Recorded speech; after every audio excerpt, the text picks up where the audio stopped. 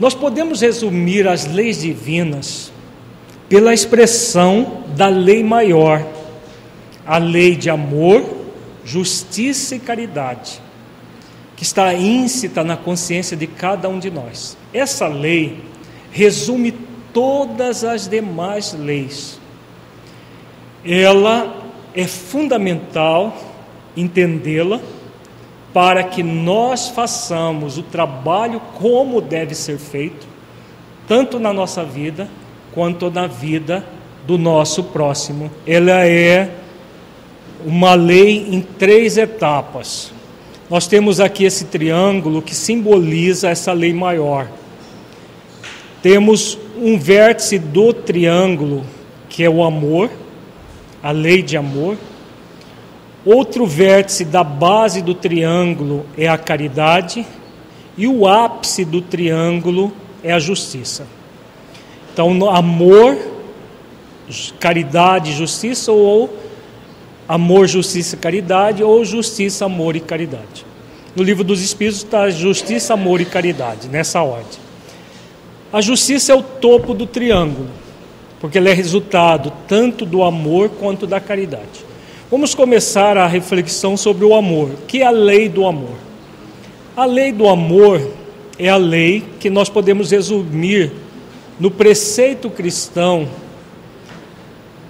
em que Jesus ensina amar a Deus sobre todas as coisas, o amar a Deus de todo entendimento, de todo o coração e de toda alma e amar ao próximo como a si mesmo. Temos nesse preceito a síntese da lei do amor. O que é amar a Deus sobre todas as coisas? O que é amar a Deus de todo o entendimento, de todo o coração e de toda a nossa alma? O que seria, gente? Entrega às próprias leis divinas. Deus não precisa do nosso amor, nós é que precisamos dele. Nós precisamos desse amor quando nós nos movimentamos, indo ao encontro das leis divinas e realmente as amamos, respeitamos e vivenciamos. Então, isso é, em síntese, próprio, o próprio amor a Deus. E é o ato de alto amor mais profundo que nós podemos ter conosco. Então vejamos, quando Jesus fala que o amor a Deus se resume no amor ao próximo como a si mesmo, para que nós amemos a nós mesmos, só existe um caminho caminho do cumprimento das leis divinas. Porque se nós não cumprirmos as leis divinas, nós não, teremos, não estaremos num trabalho de alto amor. Né? Então é uma lei que nos convida a esse mergulho interior no alto amor, pela entrega às leis que Deus criou para nortear a nossa vida. Quando nós realizamos o amor dessa forma, nós nos preenchemos de amor. Ao nos preencher de amor, nós ninguém pleno de amor vai ficar no movimento egoísta, egocêntrico, somente é, buscando prazer, buscando situações puramente egóicas. Quem se envolve com o movimento de amor verdadeiramente vai ao próximo.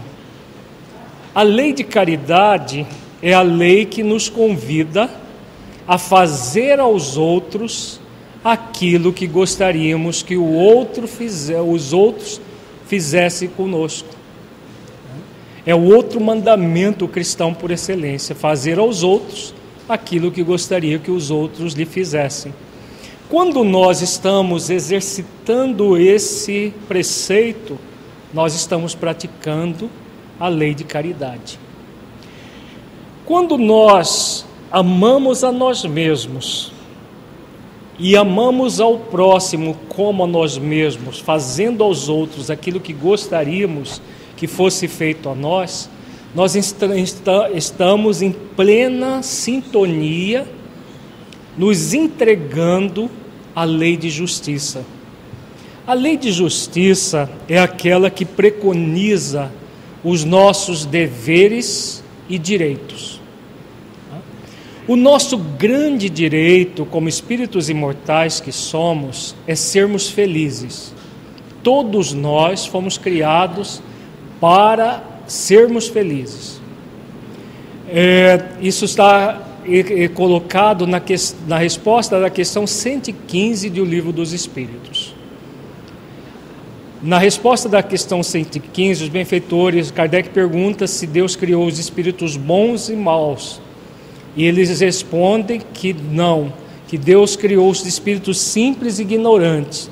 E cada um tem um compromisso de conhecer a verdade para aproximar aproximar-se do Criador. Nesse conhecimento, eles adquirem a pura e eterna felicidade. E os benfeitores continuam dizendo: uns aceitam submisso essa meta que lhes foi assinada, outros só a suportam murmurando.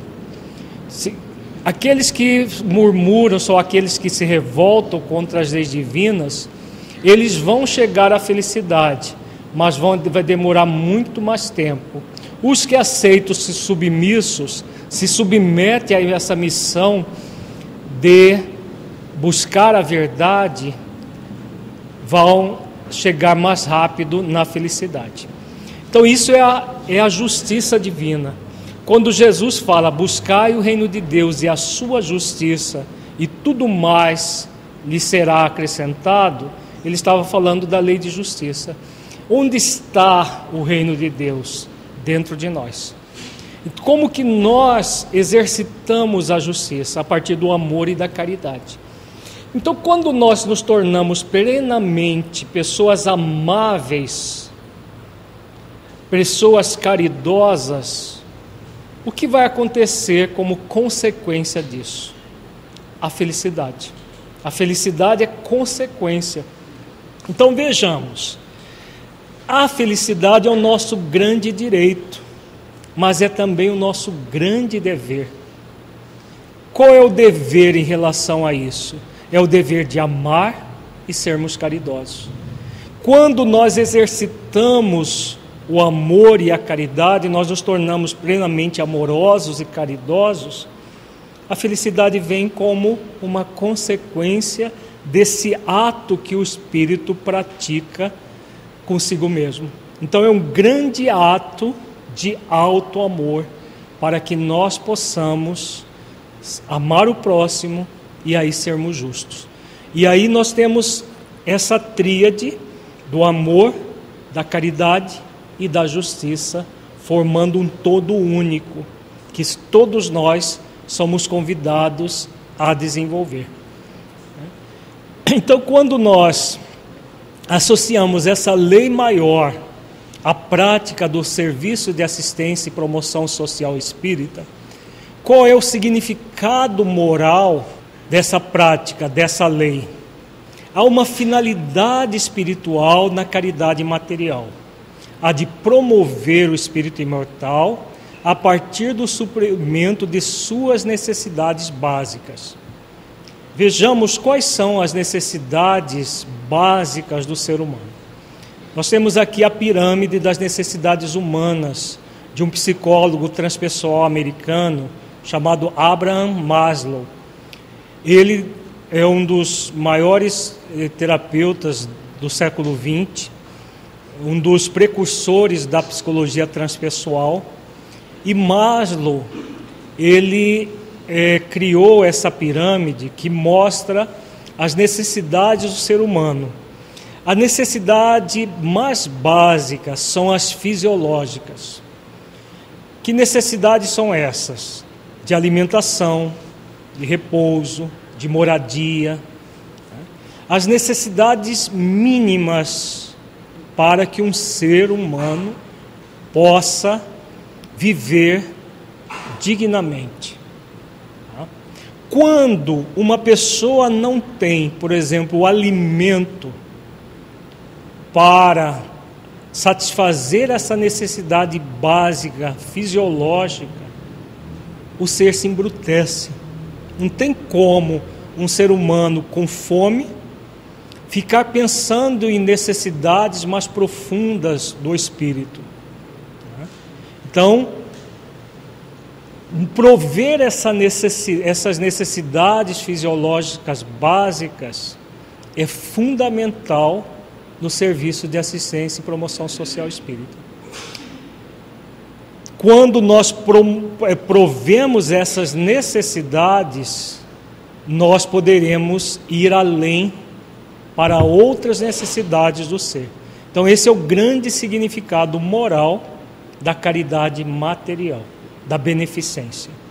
Porque existe no movimento espírita existe duas correntes que são, estão profundamente equivocadas nessa área. Tem uma corrente que diz que o importante é prover as necessidades básicas.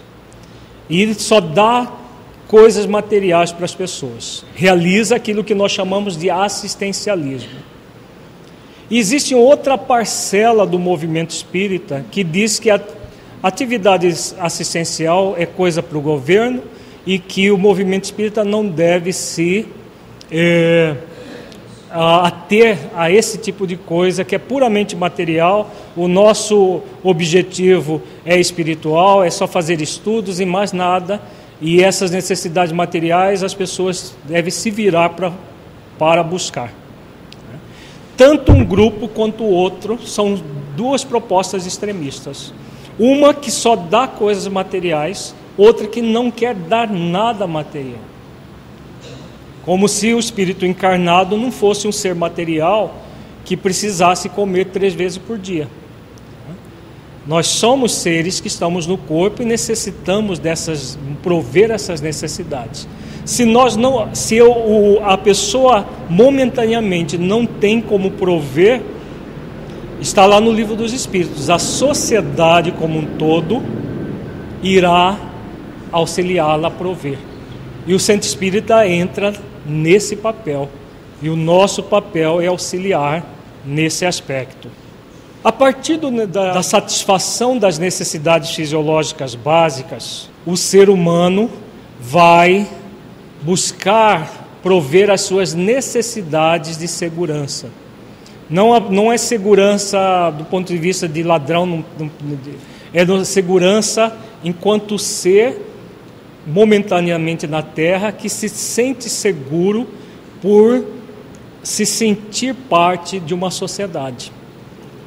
Essa necessidade também está no, no, trabalho do Serviço de Assistência e Promoção Social, nós podemos estimular as pessoas a buscarem, mas é uma necessidade jamais, já não mais fisiológica, uma necessidade espiritual do ser as necessidades fisiológicas básicas, de uma certa forma, precisamos apenas dos recursos materiais para supri-las. Já as necessidades maiores não depende só de nós, depende de nós e do daquele que nós estamos estimulando. A partir das necessidades de segurança, o ser busca as necessidades sociais. Então, na, na, necessidade social, como que nós vamos prover essa necessidade no serviço de assistência e promoção social espírita? Se nós fizermos só atividades assistencialistas, nós estamos convivendo fraternalmente com essas pessoas para que nós nos socializemos com elas e ajudemos a crescer espiritualmente? O que, que vocês acham? Se a gente se encontra, fica lá alguns minutos, dá uma cesta básica e vamos embora. Ou damos uma sopa e vamos embora. É, fazemos qualquer coisa material e vamos embora. As necessidades sociais nós não estamos ajudando aquela pessoa a atender. Só convivendo, aí vai, vai entrar o método é, criado pelo professor Mário Barbosa, que nós vamos estudar amanhã, dessa convivência em sociedade, na própria sociedade onde aquelas pessoas é, residem, na, na própria comunidade onde as pessoas residem. A partir das necessidades sociais, o ser vai, necessitar, vai buscar as necessidades de autoestima. Então, a autoestima tem a ver com a lei do amor. A lei do amor é como se fosse o rio. O alto amor e o amor ao próximo é a água que corre por aquele rio. O leito do rio é a lei, e a água que corre é o alto amor, que é a mesma coisa que autoestima, e o amor ao próximo. Então a necessidade de autoestima é fundamental para o ser humano. A partir do momento que ele atende às necessidades fisiológicas de segurança, ele começa a socializar melhor, ele vai ser convidado ao movimento de, que já nós chamamos até é, um pouco mais além do que o Maslow, é o autoacolhimento amoroso, que, vai, que é uma necessidade do ser humano. Esse autoacolhimento amoroso é, é o desenvolvimento de cinco sentimentos básicos. O primeiro deles é a própria autoestima, o segundo é a autoaceitação, o terceiro é a autoconfiança, o quarto, autovalorização e o quinto, autorrespeito. Ninguém vai conseguir realizar esse autocolhimento amoroso se falta o necessário. Se a pessoa eh, de manhã cedo não tiver nada para comer o dia inteiro, ou se tiver alguns bagos de pão, é apenas isso e, e, e ela não sabe o que, que vai acontecer na hora do almoço, o que, que vai acontecer na hora do jantar. Não é possível a pessoa pensar nessas necessidades que são espirituais sem atender às necessidades básicas. E por último, nós temos a necessidade de autorrealização, que tem a ver com a felicidade, com a plenitude que todos nós somos convidados a buscar.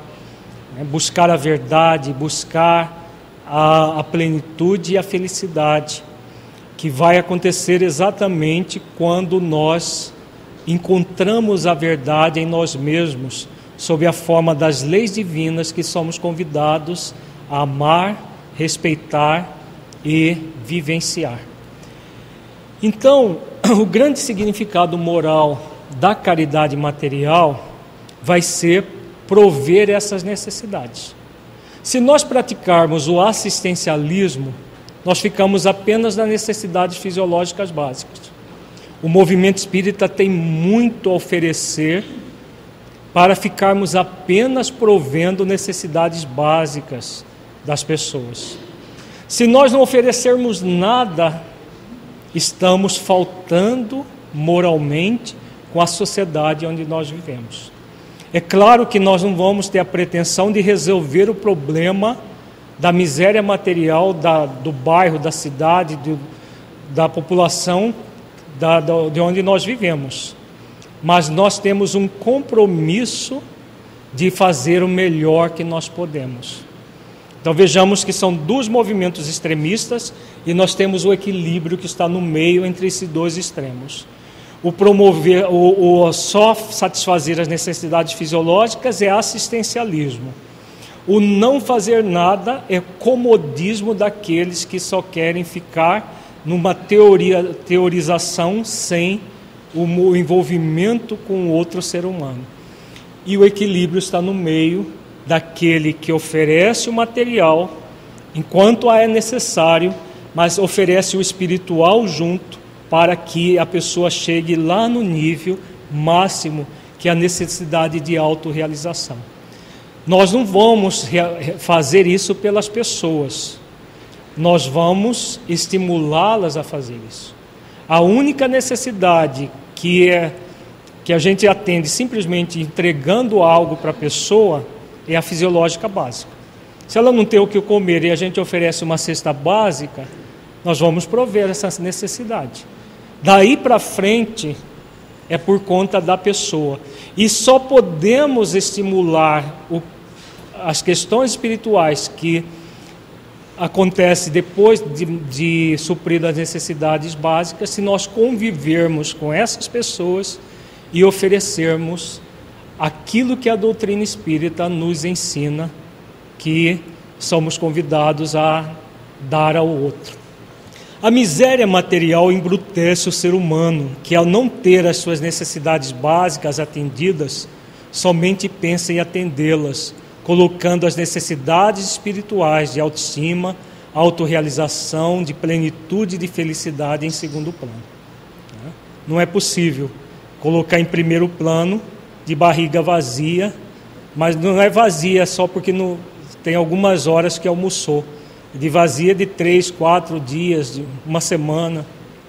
Agora vamos para outra, outro desafio.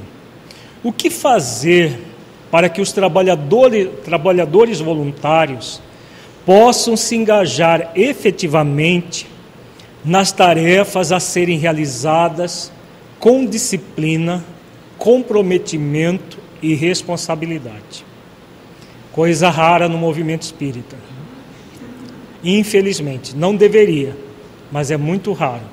Muito raro o trabalhador realmente comprometido, disciplinado e responsável. Nós vamos ver as causas disso aqui agora. Então, nós vamos trabalhar agora o engajamento do trabalhador, o trabalho do bem como exercício do propósito existencial. Qual é o sentido do trabalho do bem nas nossas vidas? Há um sentido muito profundo do trabalho do bem. Não é algo que a gente faz porque não tem mais o que fazer naquele momento.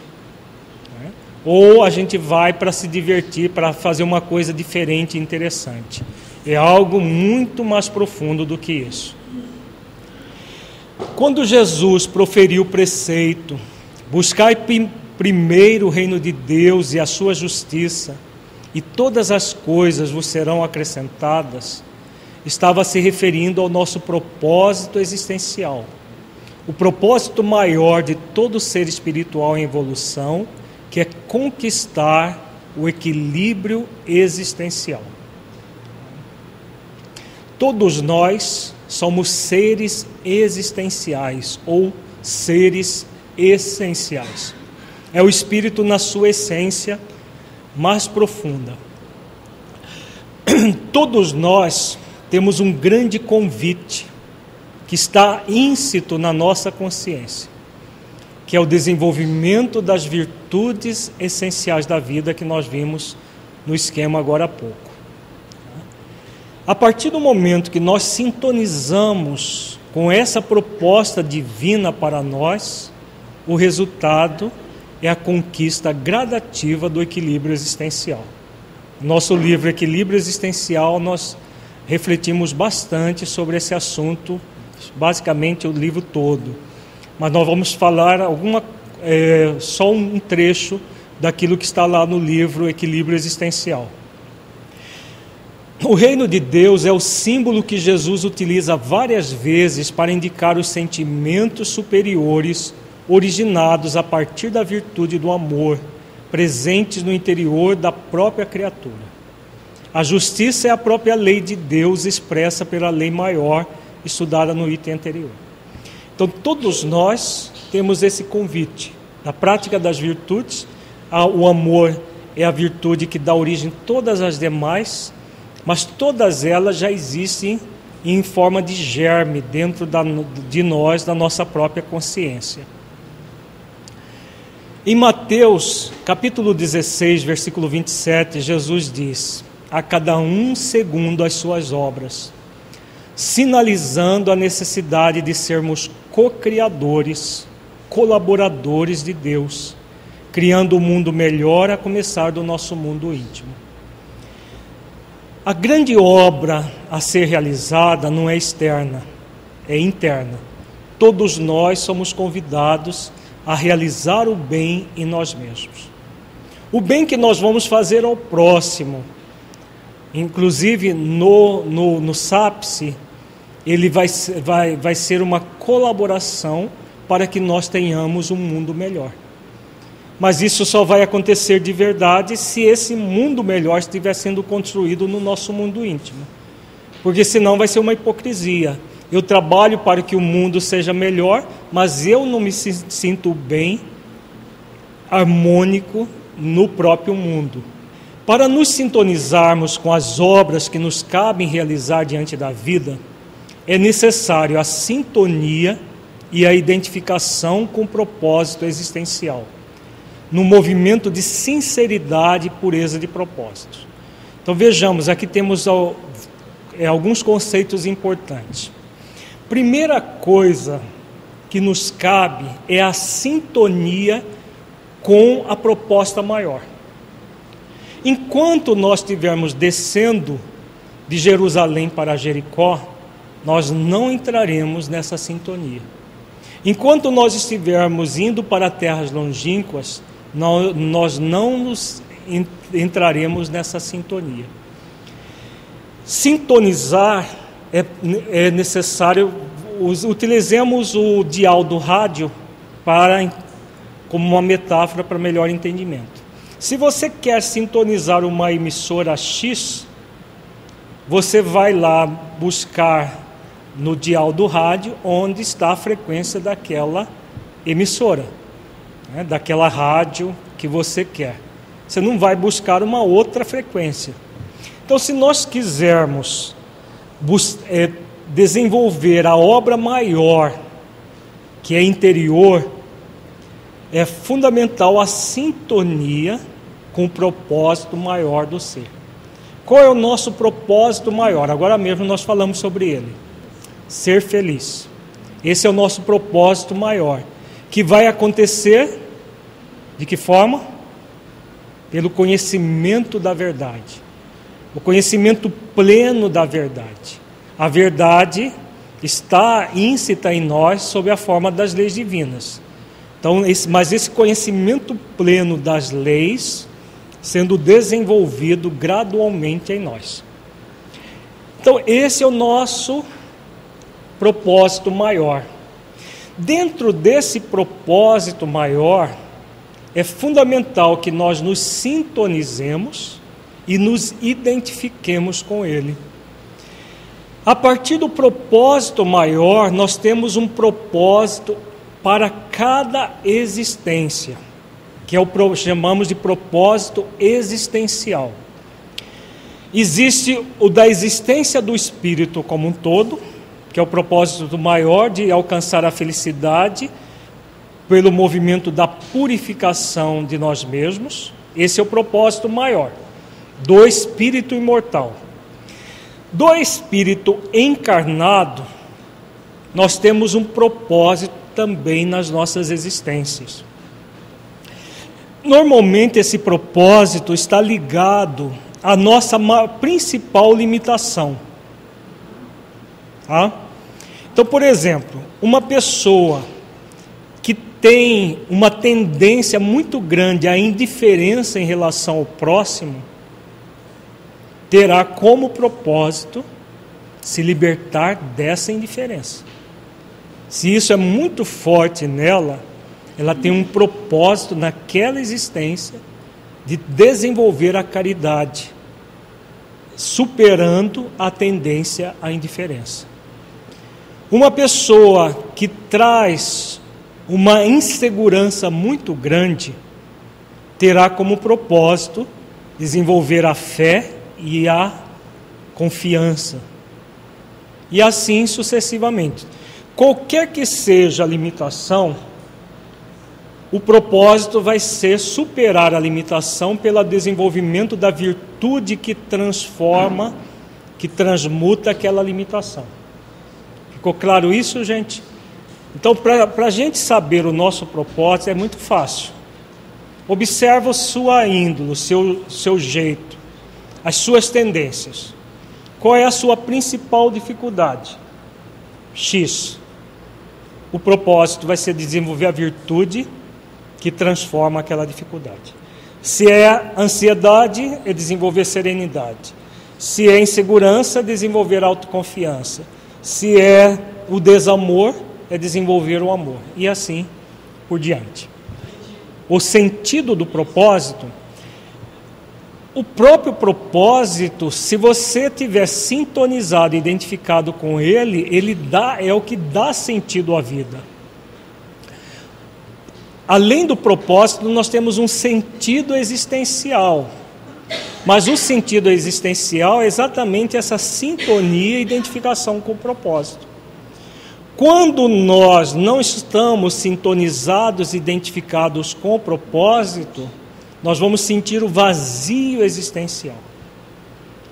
É o que acontece com a maioria das pessoas, se não todas, que estão descendo de Jerusalém para Jericó. Descer para, de Jerusalém para Jericó, simbolicamente falando, é buscar um mundo com tudo aquilo que o mundo oferece de convite. É a estrada larga também da fala de Jesus. A pessoa nesse movimento, ela está buscando, entre aspas, a felicidade. Mas está buscando a felicidade num lugar onde ela não está. A felicidade não está nos prazeres puramente egóicos da vida, não está ah, em situações de uma conta bancária extremamente rechonchuda. Não está nessas situações. Né? Porque senão rico era para ter uma autoestima excelente. E por que não tem? Muitos vão chegar até o suicídio. Né? Enquanto que pessoas pobres, com certeza aquela família, eu não conheço o Duílio que tirou aquela fotografia, mas as pessoas que moram naquela casinha, com certeza não são infelizes. Porque uma pessoa infeliz não, não cuida do seu próprio habitat daquele jeito que aquela família cuida, que nós vimos na, na, na, fotografia. Não precisa nem entrar dentro da fotografia que está no cartaz que nós mostramos daquela casa no Pantanal.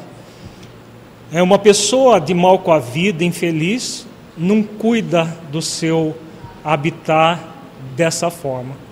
Então nós temos pessoas pobres e felizes e pessoas ricas e profundamente infelizes. Então quando a pessoa busca simplesmente essas questões materiais, elas se afastam do sentido existencial e se afastam do propósito existencial. E cedo ou tarde vai criar um vazio existencial. Esse vazio existencial produz doenças de vários tipos ansiedade generalizada, fobias, depressão, transtorno bipolar, é, síndrome do pânico. Cedo ou tarde, é, são os salteadores que ela cai, às vezes ainda nesta existência. Não precisa desencarnar para cair em poder dos salteadores e ficar semi-morto. Né? Quando a pessoa não busca o sentido existencial e entra nesse vazio, o resultado é muito desespero, desesperador para o espírito. E as doenças que acontecem são muito graves. Pergunta se podemos criar uma pirâmide de propósitos existenciais. Na verdade, nós temos o grande propósito de uma existência. Quando você está realizando aquilo que é da sua principal limitação, as outras vêm por acréscimo. Aquilo que você já tem já traz de conquista anterior de outras existências, você vai trabalhar naturalmente, se você estiver trabalhando a principal limitação. Mas qual é o nosso movimento? Deixar, no, no seminário que nós ministramos aqui do, sobre a obsessão oculta, nós tivemos uma orientação do Honório, do Espírito Honório, dizendo do descuido sutil, que a gente deixa aquilo que é mais. Eh, que é mais trabalhoso para nós, que é mais desafiador para depois. Né? E aí não coloca, aí, aí a sua figura é interessante. Colocar no nível mais básico aquela necessidade maior. Porque atendendo essa necessidade, todas as demais você irá atender. Agora, se você deixar para depois, você pode até situações que você já teria condições de trabalhar melhor, acaba não trabalhando, porque foge do propósito maior da atual existência. Então é necessário essa sintonia e identificação. A pessoa entra no movimento do propósito com sentido existencial profundo. Aí entra a sinceridade e a pureza de propósito. Essa sinceridade no sentido de que eu sou sincero, porque eu quero crescer, eu quero ser feliz, eu quero ser melhor. A pureza não é pureza espiritual, é pureza de propósito. É a pessoa que não tem aquele movimento do fariseu, do parecer. Ela está sendo sincera e ela quer aquilo. Não tem nenhum movimento de negligenciar o aperfeiçoamento, nem o movimento de falsear a perfeição, como acontece com muita gente. Então ela entra nessa movimento de sinceridade, pureza e propósito. Poderíamos dizer que cada, o, o, cada um segundo, segundo as suas obras seria a mesma coisa que a autotransformação e a espiritualização? É, os esforços que a pessoa faz exatamente. Porque as obras que nós, que são individuais, intransferíveis, não é a obra de fora é a obra interna de transformação interior. O esforço que nós fazemos para domar as nossas más inclinações, conforme está lá na orientação kardeciana e o Evangelho segundo o Espiritismo. Quando nós nos esforçamos, nós estamos é, é, é, realizando a obra maior que nos cabe. Ao realizar essa obra maior, nós podemos realizar outras obras fora de nós. Aí entra o trabalho do bem como parte do propósito existencial. Eu realizo aquilo que só eu pode, posso fazer, que está dentro de mim. Mas eu não vou ficar encastelado, não, agora eu vou realizar o meu propósito. Eu fujo do mundo e fico lá realizando o meu propósito. Não é assim. É no mundo que nós realizamos, realizamos o propósito existencial não é nos afastando do mundo. Então, ao realizar o propósito, nós vamos ser convidados a ir ao encontro do outro para auxiliá-lo também. Todos nós estamos no mundo para cumprir esse propósito existencial, o qual existe em função da capacidade de sermos co-criadores em sintonia com a consciência cósmica criadora da vida. A finalidade maior de nossa vida consiste em sermos colaboradores de Deus. Jesus nos exprime isso falando: Vós sois deuses, tudo o que eu faço vós podeis fazer e até mais se quiserdes, contribuindo para a construção de um mundo mais feliz e harmonioso. Então, ao mesmo tempo que nós estamos trabalhando o nosso propósito existencial, nós somos convidados a construir um mundo melhor, mais feliz e mais harmonioso em torno de nós, né? dando a nossa contribuição como colaboradores de Deus que somos convidados a ser. Torna-se fundamental a conexão com o nosso propósito existencial para que possamos ter vida, agir como co-criadores de nossa vida e por ressonância da vida no cosmos. Quando conectados com a vida cósmica, o nosso íntimo se torna melhor, o nosso mundo íntimo se torna melhor e o mundo um lugar melhor. Então, esse é o grande compromisso que temos. Então vejamos aqui no esquema para melhor entendimento. Nós temos o propósito existencial, é o núcleo da nossa vida. A nossa vida espiritual, enquanto espíritos imortais, momentaneamente no corpo, gira em torno desse propósito existencial. Ao mesmo tempo que nós temos o propósito existencial, nós temos uma série de circunstâncias que nós vamos atender. Então, nós temos o nosso lado pessoal para viver temos a nossa família, temos o lado profissional, temos o lado social, temos os relacionamentos de modo geral. Então, pessoal, familiar, profissional, social, relacional. São N circunstâncias que nós estaremos dentro de questões circunstanciais sendo convidado a exercitar o propósito. O no, a nossa maior dificuldade vai aparecer quando?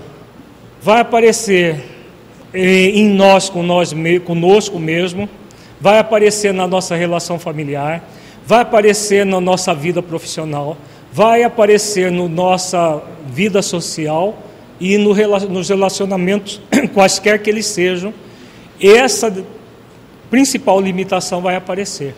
Por exemplo, uma pessoa que tem insegurança como limitação, em maior ou menor intensidade, ela aparece em tudo isso que está aqui no esquema, em todas as áreas da vida dela.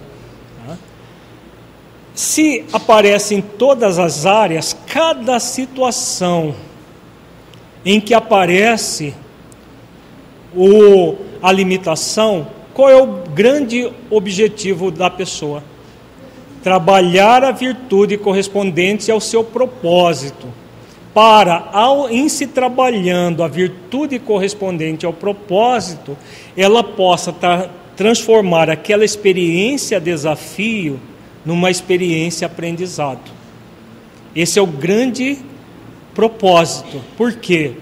Se ela, naquela circunstância, exercita a virtude e para nos tornarmos virtuosos, é necessário pequenas ações virtuosas ao longo da nossa vida. Nós vamos exercitando a virtude nas, nas circunstâncias relacionais, pessoais, familiares, profissionais e sociais que temos a desempenhar no mundo. Então, são várias circunstâncias. Em todas elas vão aparecer situações limitantes para nós em relação à nossa principal limitação. Se eu fujo delas, o que, que eu estou fazendo? Fugindo do propósito. Se eu fujo das circunstâncias, eu fujo do propósito. Se eu, ao contrário, busco em cada circunstância exercitar, em cada circunstância eu busco exercitar o propósito, desenvolvendo as virtudes, eu estou realizando aquilo que me comprometi a fazer nesta existência. Isso que é a busca do reino de Deus e a sua justiça, e a cada um se dará conforme as suas obras. Se nós buscamos isso, estamos desenvolvendo o reino de Deus. As obras dentro de nós e fora de nós são consequências. E aí o que acontece? Nós vamos estar plenos no dia do juízo. Se não tomarmos juízo antes do dia do juízo, vamos voltar para a dimensão espiritual sem ter realizado o propósito. E é uma das coisas mais tristes para o espírito imortal voltar para a dimensão espiritual sem ter realizado nada do propósito. No livro Nosso Lar, André Luiz fala dos espíritos completistas. Os espíritos completistas são aqueles que realizaram tudo aquilo que vieram realizar no mundo físico. E André Luiz fala que são muito raros esses espíritos. A maioria não faz nada do que veio para fazer. Alguns fazem alguma coisa. Poucos fazem tudo e muito menos fazem além do que estava programado. Né? Muito poucos. Nós não precisamos ir além, porque isso é realmente para uma, uma minoria. Mas o fazer no limite das forças é um compromisso consciencial que nós trazemos. Bastante trabalhoso, sem dúvida, sem dúvida mas necessário para a saúde espiritual, necessário para a nossa vida com maior equilíbrio. Então, vale a pena buscar o propósito. Agora vejamos a caridade em sintonia com o propósito existencial. Diante da vida, nós teremos, sempre teremos três tipos de opções para lidar com a vida: o desamor, o pseudo-amor e o amor. Vejamos como funciona o desamor. No desamor, a pessoa entra numa indiferença ou numa crueldade gerados pela inconsciência. A pessoa que foge da individuação, ela acaba gerando esse processo de desumanização, ou ela se torna indiferente em relação ao outro, ou pior ainda, ela começa a ser cruel com o outro, fazendo coisas más ao outro. Com o tempo, produz culpa e ansiedade de consciência. Normalmente, depois que a pessoa desencarna. Aí, diante da realidade, ela entra no remorso. Como a maioria de nós cultua o menor esforço, ou alguns estão chegando ao cúmulo do nenhum esforço, o que vai acontecer? O que é comum? Sair do extremo do desamor e virmos para o extremo do pseudo-amor. No, no pseudo-amor, a pessoa entra num sentimentalismo que gera um pseudo-bem, pois é uma tentativa de mascarar a ansiedade de consciência que vem lá da indiferença e da crueldade. A pessoa faz uma barganha com Deus pelo bem, entre aspas, que se faz. Essa barganha pode ser mais ou menos consciente. Às vezes ela está no nível subconsciente que a pessoa nem se dá conta que está fazendo uma barganha mas ela tem em si mesmo um movimento sentimentalista. Não há uma barganha do ponto de vista divino, mas há uma barganha do ponto de vista humano, da pessoa Ela, ela está fazendo uma barganha. Já que eu fui mal no passado, agora eu vou ser bonzinho. Então, se eu for bonzinho, Deus vai me proteger. Como se Ele não tivesse protegido quando você era malzinho. Deus protege todos, maus e bons. Jesus diz isso. Ele manda a chuva e o sol para justos e injustos, diz Jesus no Evangelho. Então Deus não nos protege quando nós somos bonzinhos. Deus nos protege sempre. Porque se não fosse a proteção divina, nós conseguiríamos até nos auto-aniquilar. Mas isso é impossível, porque Deus nos protege de nós mesmos o tempo todo. Então é saindo do extremo, indo para outro extremo, que é fruto do comodismo e de uma ansiedade de consciência que nós vamos resolver o problema. No serviço de assistência e promoção social espírita tem muita gente nesse nível, do sentimentalista. O sentimentalista ele quer resolver o problema do outro. Por quê? O problema do outro faz ele sofrer. Por que, que ele sofre o problema do outro? Tem uma razão profunda para isso. Culpa de quê? Culpa de não ter feito o que poderia ter feito, somente ou mais do que isso? Se ele gerou miséria no passado, miséria moral no passado, e ele saiu do extremo do desamor para vir para o extremo do pseudo-amor, ele suporta a miséria moral, a miséria material? Por quê? Porque mexe com as estruturas mais profundas dentro dele mesmo. O remorso está ali latente. Por isso que é uma tentativa de mascarar a ansiedade de consciência. Há uma ansiedade no processo, não é um movimento essencial de vida é um movimento falso em si mesmo. Aí a pessoa vai fazer o que? Ela vai ficar com dó do outro e querendo, porque querendo resolver o problema do outro. Porque ao resolver o problema do outro, o que, que acontece? Ela diminui a ansiedade de consciência. Então é aquela pessoa que quer resolver, pega uma família e quer resolver tudo, todos os problemas materiais da família. Se for possível, se for preciso, ela leva a família até para a casa dela e faz tudo e tá e tá. E fica naquele movimento achando que isso é bondade real, que isso é uma virtude, que a virtude da caridade é isso. Se fosse, Jesus teria ensinado isso lá na parábola do bom samaritano. O bom samaritano colocou o homem caído nas costas, levou para casa e cuidou dele para o resto da vida. Tem isso na parábola? Não, não tem. Então, sentimentalismo não é caridade, é pseudo bem, é pseudo caridade. É fácil ir para o sentimentalismo do pseudo amor, porque é uma reação ao desamor do passado. A pessoa se incomoda demais com a miséria do outro.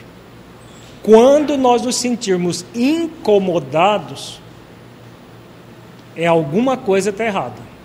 Vejamos, no desamor nós estamos acomodados, na indiferença, não é comigo, não sendo comigo nem com os meus, que se dane o mundo. Não tem gente que pensa assim?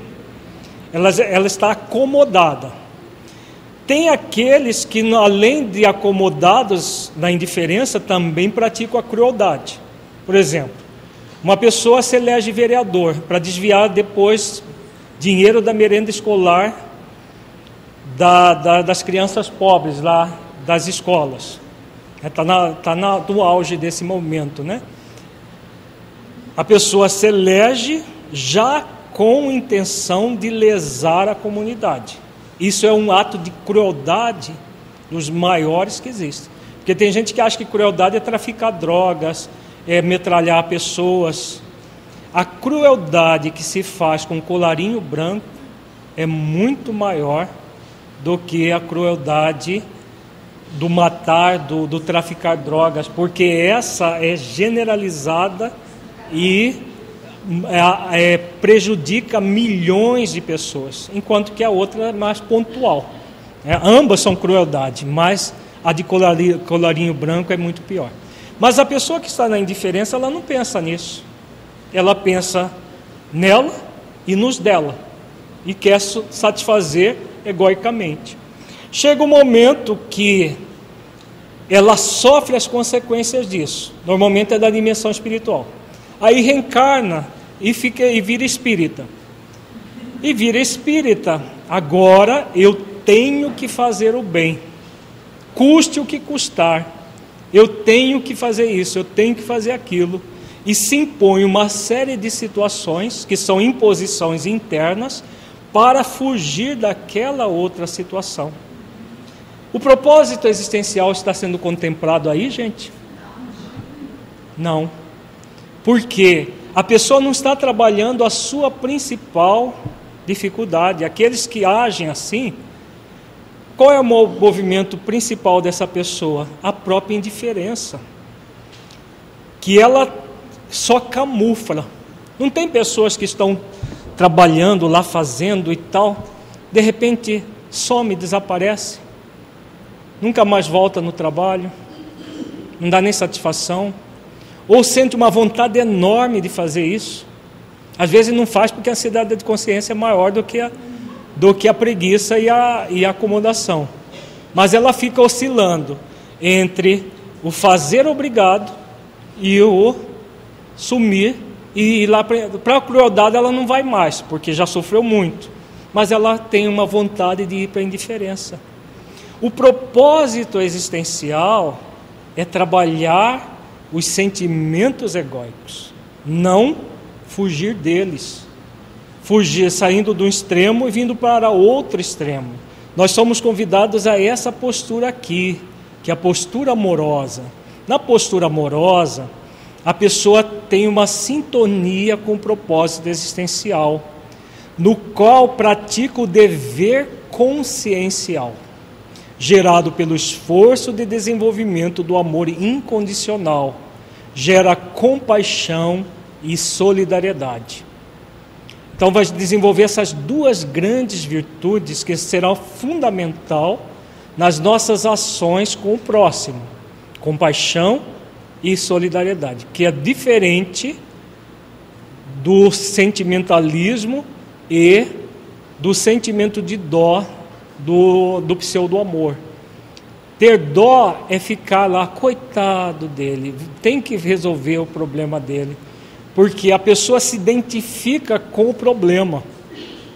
Vejamos que para sintonizar com o propósito e, e estar no movimento amoroso, há uma sintonia de identificação com as questões existenciais da vida.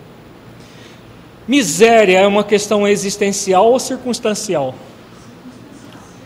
Tanto a moral quanto a material é uma questão circunstancial, não é existencial. O que é existencial é aquilo que é do âmago do espírito imortal, que vai existir por toda a eternidade. Isso é existencial. Então, quando nós estamos sintonizados, identificados com isso, tudo flui. E nós não vamos ter vontade de abandonar o trabalho. Ao contrário, nós queremos realizar cada vez mais. Mas por quê? Porque nós estamos crescendo com o trabalho do bem. O trabalho do bem faz sentido na nossa vida e nós crescemos com ele. Quando nós nos obrigamos ao trabalho do bem por ansiedade de consciência, ele não gera crescimento. Ele pode gerar filantropia. Se alguém está com fome e a gente dá um prato de sopa, é útil? É. Supriu uma necessidade básica.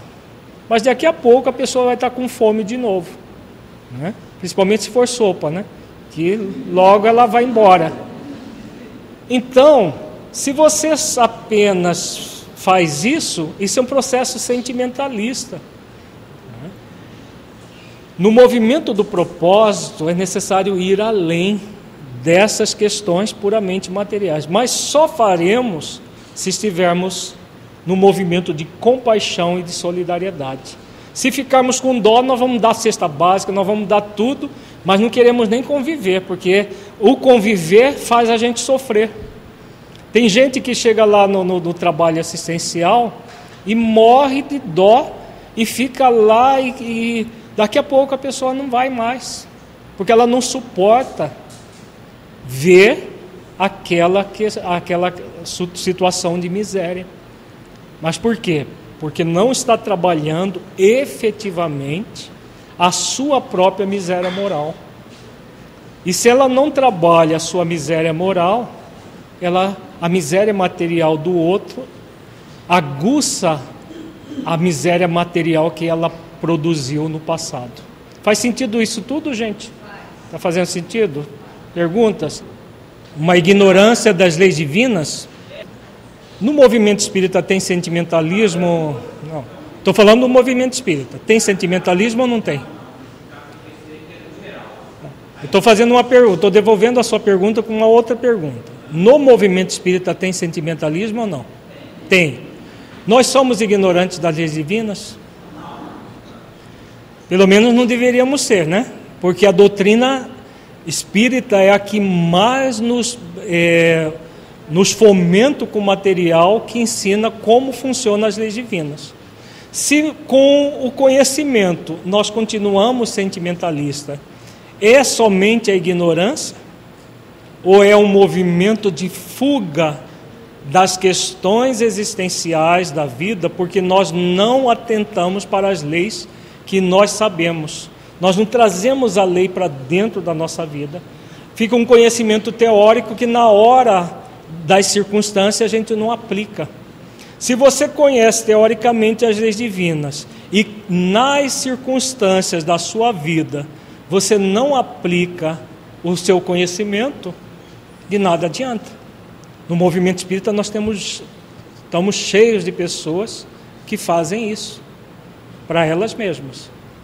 Uhum. O sentimentalista seria aquele que se auto-engana porque não faz aquilo que a, a transformação interior é exatamente isso. Ele não realiza ações de autotransformação. Ele simplesmente camufla num auto-engano as próprias eh, dificuldades que traz em si mesmo. Tenta servir a dois senhores, né? Porque não é possível. Isso que é a barganha. Ele tenta fazer com que Deus seja bonzinho para ele porque ele está fazendo bem. Mas não existe barganha com Deus. Só existe, claro, tentativa. Porque da parte divina, Deus é incorruptível. Imagina se nós podemos corromper Deus. Né? A própria consciência, que são as leis divinas dentro de nós, é incorruptível? Como que nós vamos corromper a consciência cósmica? Não, eu vou ser bonzinho, aí o senhor, por favor, seja bonzinho comigo também, tá? Me manda sempre um mundo de cor-de-rosa, tudo maravilhoso, tudo assim assado. Vai funcionar? Aquilo que é dar conta da sua vida virá de qualquer jeito. Diante do propósito existencial, nós acabamos de ver que o movimento amoroso é essa sintonia, identificação com o propósito. Por que, que ainda no movimento espírita nós temos tantas dificuldades em relação à própria realização da tarefa? Porque existe em nós, no nosso movimento, um grande problema que se chama inibição. E o outro grande problema chamado exibição. Vejamos. Primeiramente, a inibição. A inibição é um movimento no qual a pessoa coibida por uma ação obsessiva sutil desconecta-se do propósito pela estagnação, voltando-se para dentro tornando-se inibida em seu potencial. É o desânimo que as pessoas muitas vezes entram por uma influência espiritual. Elas ficam desanimadas, ficam sutilmente assim, ah, numa, num processo de acomodação frente à tarefa, realizando muitas vezes a própria tarefa de uma forma morna, de uma forma inibida, estagnada. É a tática que mais os espíritos das sombras têm usado no movimento espírita. As pessoas permanecem nos seus cargos, sem efetivamente ocuparem os encargos que o cargo a convida. A pessoa é diretora de um setor, é responsável por uma tarefa X, ela fica ali, porque antigamente os espíritos trabalhavam para a pessoa sair do movimento. Existem alguns espíritos que ainda trabalham para fazer isso, dependendo da pessoa. Mas os mais inteligentes têm usado a tática de manter a pessoa inibida.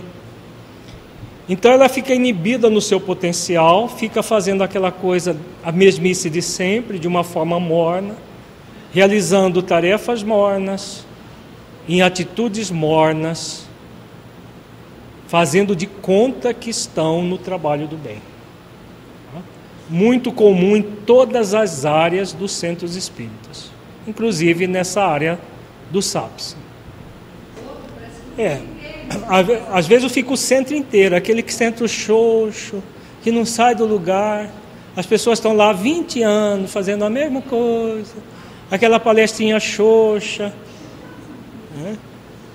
Às vezes só falta o expositor dormir em pé e cair de boca no chão, de tão xoxa que são as, as palestras, as atividades. Né?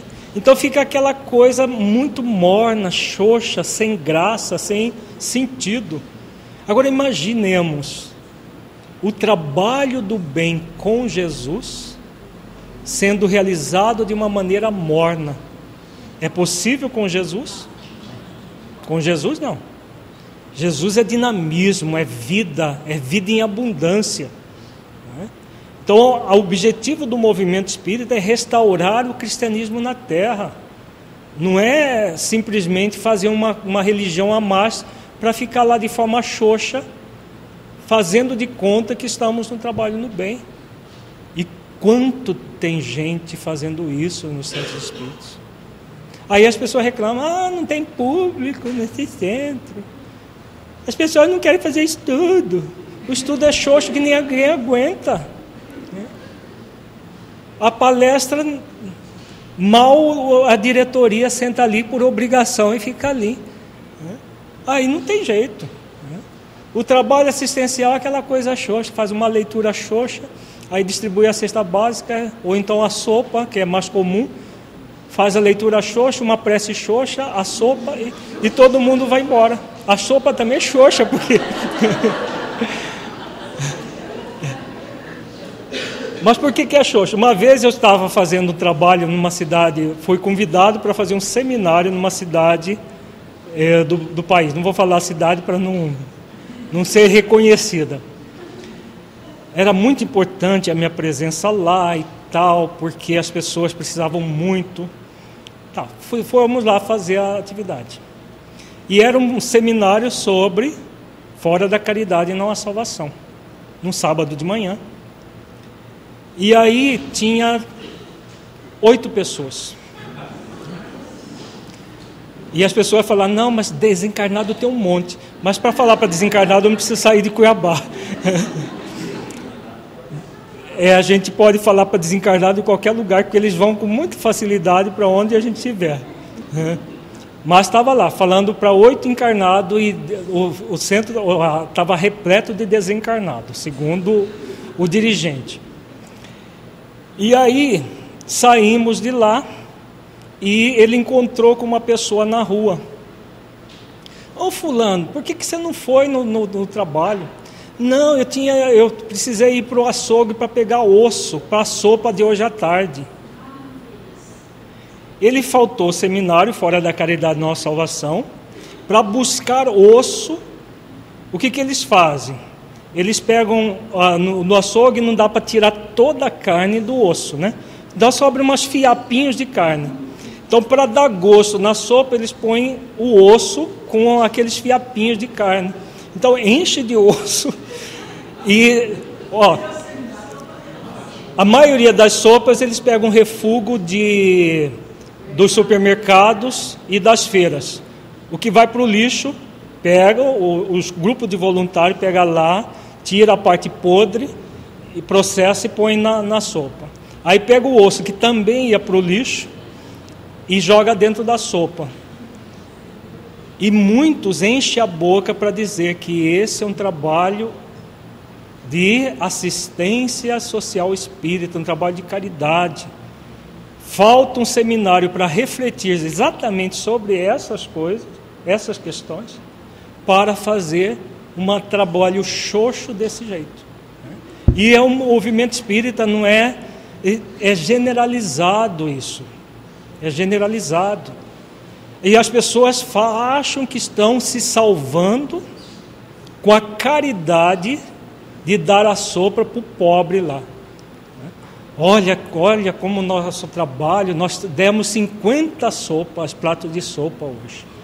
Quanta caridade nós fizemos. Né? É essa inibição. As pessoas são mantidas naquele trabalho e faz o trabalho há 20, 30 anos sem questionar: faz sentido isso na nossa vida? Então, essa inibição do, do, do esforço do bem. Mas as pessoas estão inibidas fazendo a tarefa, que é muito mais inteligente. Percebamos que é uma tática muito inteligente. Mantém as pessoas fazendo de conta que estão num grande trabalho do bem realizando essas tarefas pueris. Nós temos no, no, movimento espírita o grupo dos exibidos. Assim como existe dos inibidos, temos dos exibidos. E, e eles têm uma, uma interligação como um pêndulo de um relógio. Vejamos como funciona o exibido. É o processo no qual a pessoa, coibida pela fascinação, desconecta-se do propósito, voltando-se para fora, criando pseudo-objetivos circunstanciais que também geram estagnação. Como que isso aqui é, aparece no SAPSE, que é o nosso referencial nesse seminário?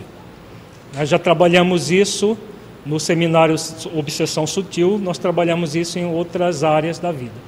Mas como aparece no SAPSE? Aquelas pessoas que querem exibir quantidade de atendidos realizados. Porque no centro espírita fizemos mil sopas durante o ano. Por que fizemos isso? Por que fizemos aquilo?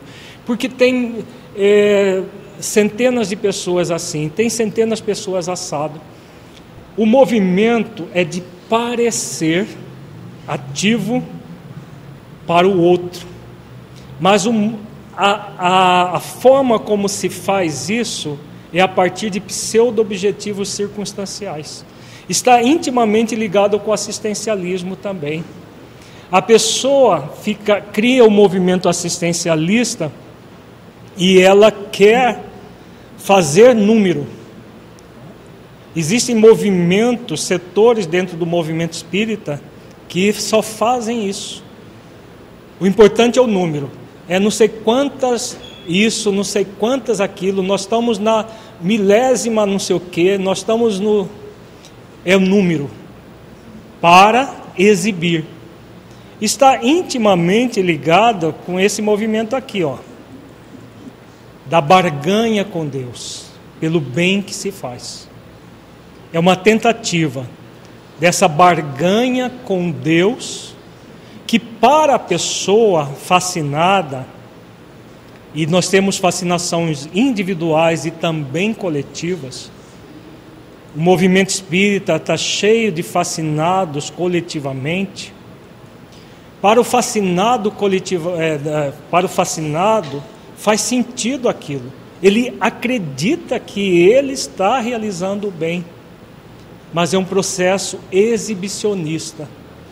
O nosso trabalho é melhor do que vocês, porque vocês só atendem uma família, nós atendemos 100. Tem gente que faz isso no movimento. Né? Nós atendemos, o importa é o número, não é a qualidade da tarefa sendo realizada. Há todo um movimento de estagnação que a sombra fomenta. Então, dependendo da, da, da, da índole da pessoa, ela fica inibida. Há pessoas muito ativas, elas são trabalhadas para ficarem exibidas. O e, e, e, exo significa para fora. Né? Então a pessoa, os exibido, ele está voltado para fora, para parecer para o outro que ele é bom, para aparecer bem na fita, até para aparecer para Deus. Olha, Deus, olha quantas coisas boas nós estamos fazendo. Vê se cuida de nós aí depois que a gente chegar do lado de lá. Como se as coisas fossem assim. Não são assim. Nós temos o compromisso de conexão com o propósito existencial. Nem inibição, nem exibição. Como funciona a conexão? É o processo no qual a pessoa, utilizando-se da vigilância e da oração, num movimento de sintonia, identificação, sinceridade e pureza de propósitos, conecta-se com o propósito existencial realizando o bem no limite de suas forças, a partir de objetivos existenciais.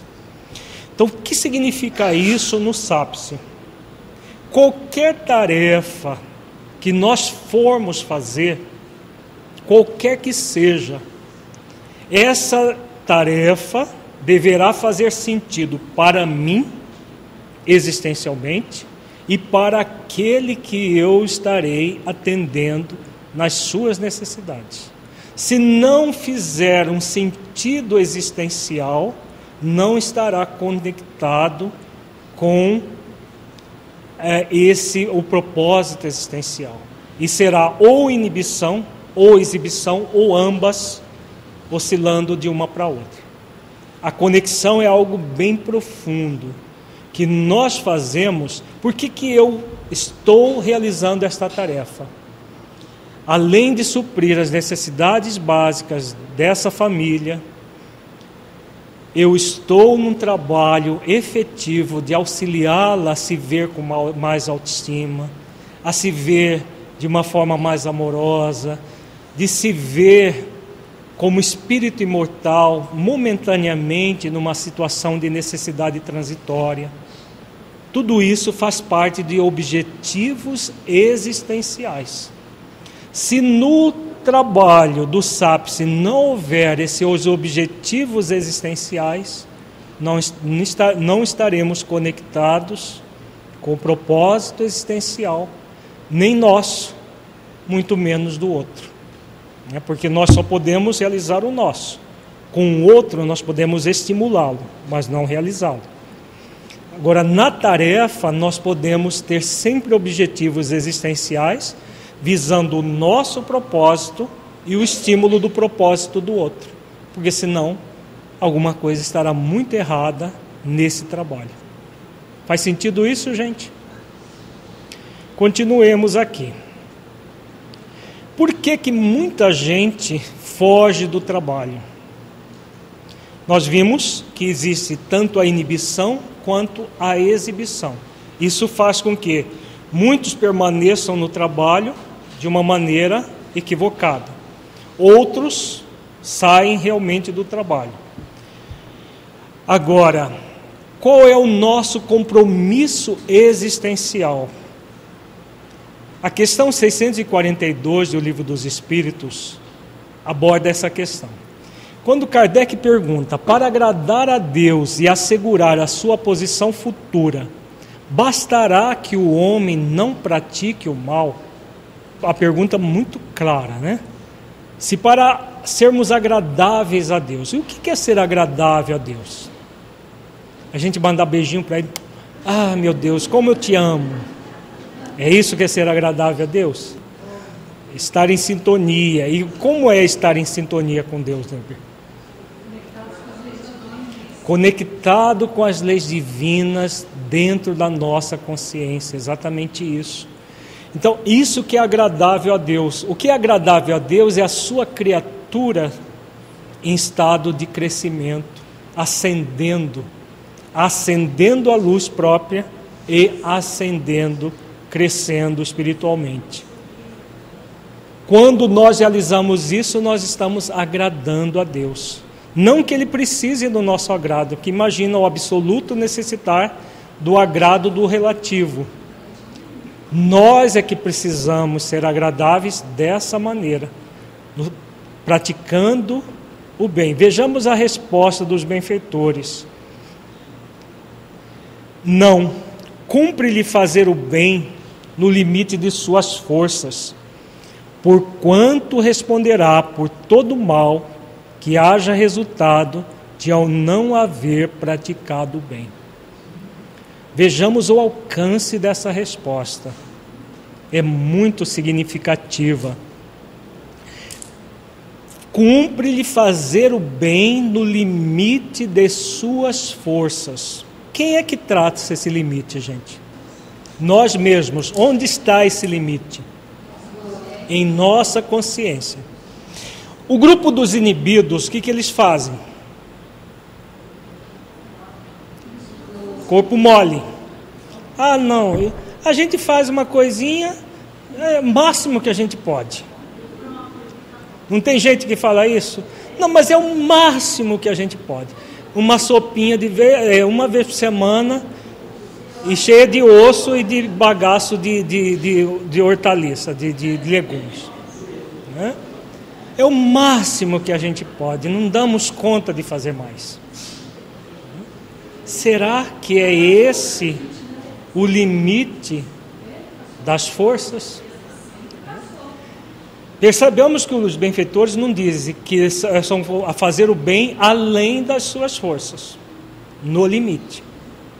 Mas os inibidos ficam no limite. Ah, no limite não, muito aquém do limite. Muito aquém. Os exibidos, o que, que eles querem? Além do limite.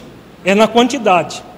Ah, mas vamos fazer mais, vamos, temos que fazer mais. E porque tem muita necessidade, vamos fazer mais, e mais e mais. E normalmente é material, porque o espiritual não tem como fazer tudo isso. E aí dá-lhe coisas materiais, e mais, e ações e tal, e tal, tal como se fosse possível realizar o bem além do limite das forças nesse aspecto. Mas é puro exibicionismo, porque o bem maior que é interior não está sendo realizado. É simplesmente parecer bom e não ser bom. O limite das forças é exatamente é dado pela sintonia e identificação com o propósito existencial. Quando sintonizados com o propósito existencial, nós não vamos fazer nem a quem, nem além. Nós vamos simplesmente trabalhar no limite das nossas forças. É claro que uma pessoa que está trabalhando no limite das suas forças, ela crescendo, ela pode ampliar o limite? Pode ampliar. Ninguém precisa a exaustão, desmaiar no centro espírita de tanto trabalhar. Agora, nós somos convidados a quê? A ampliar o limite.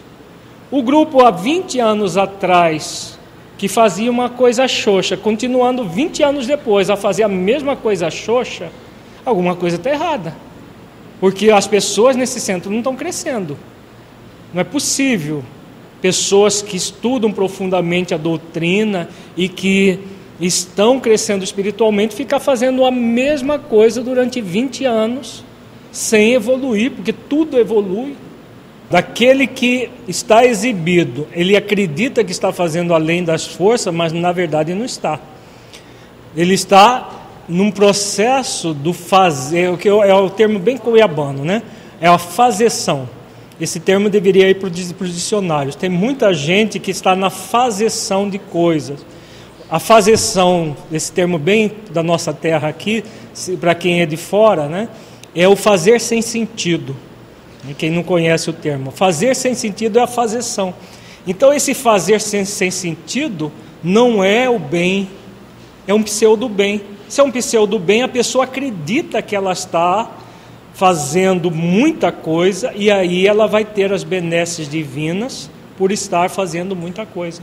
Tem gente que acha que fazendo muita coisa assim vai ficar livre de obsessor, vai para colônias espirituais como o nosso lar e outras, depois que desencarnar, por ter feito tudo aquilo.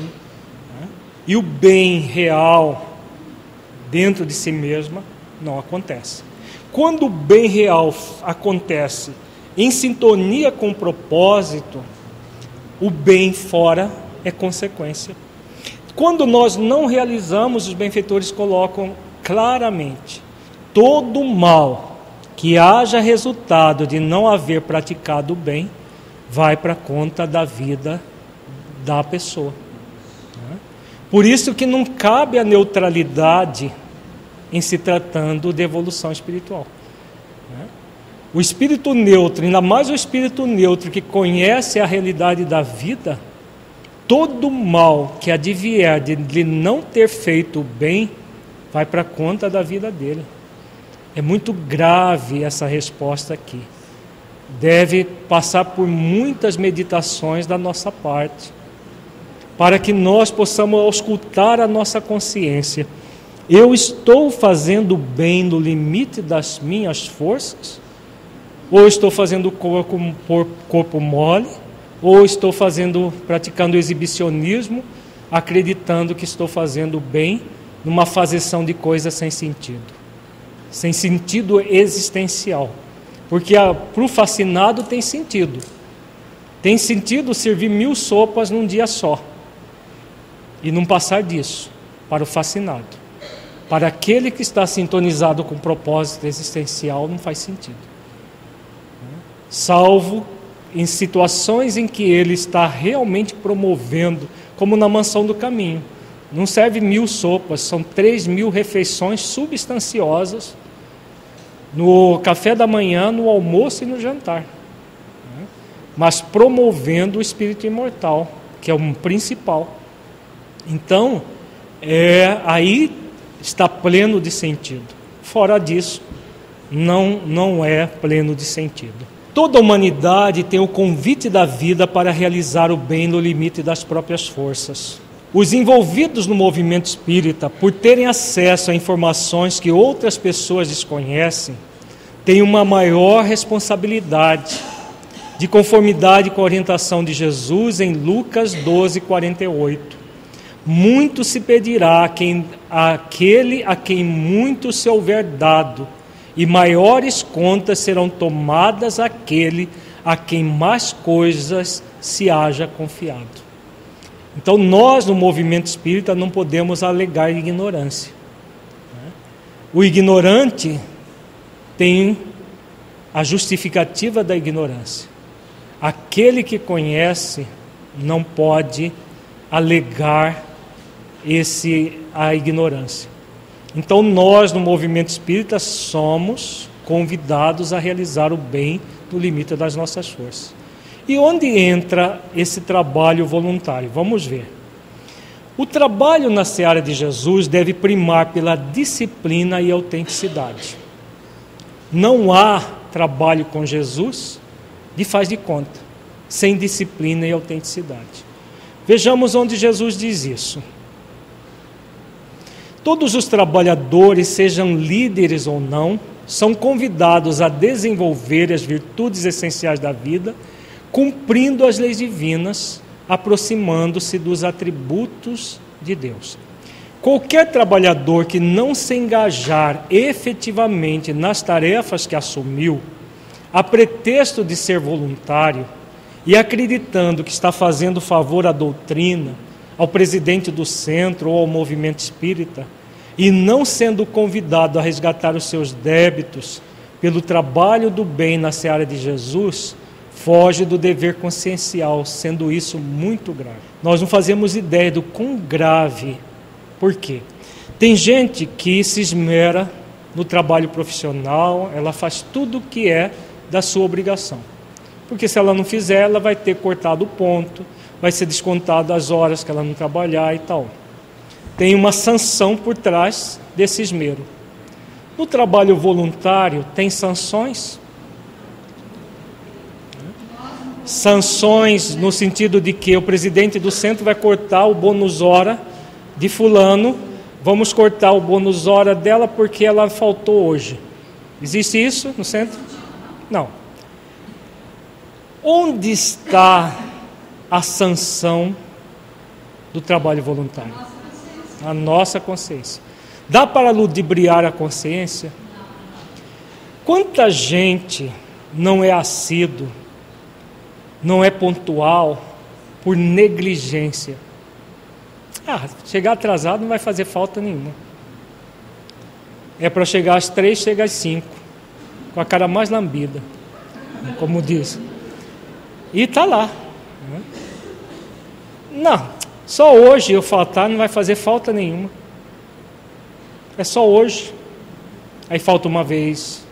Aí outro dia é mais hoje, mais hoje. E fica lá de forma morna. A pessoa nem deixa o trabalho e nem deixa outro trabalhar no lugar, porque ela está sempre de forma morna. É o grupo dos inibidos.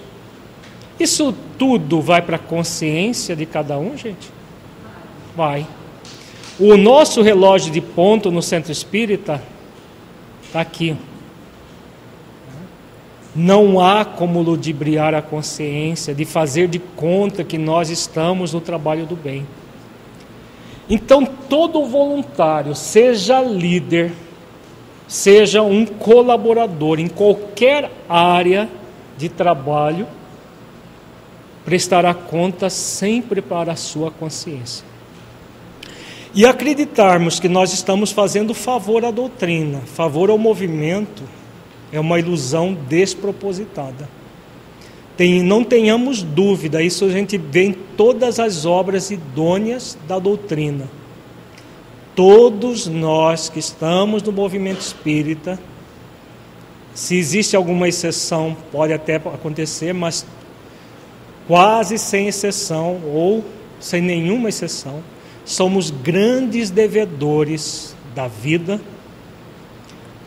e que estamos sendo convidados como trabalhadores de última hora a realizar o bem no limite das nossas forças.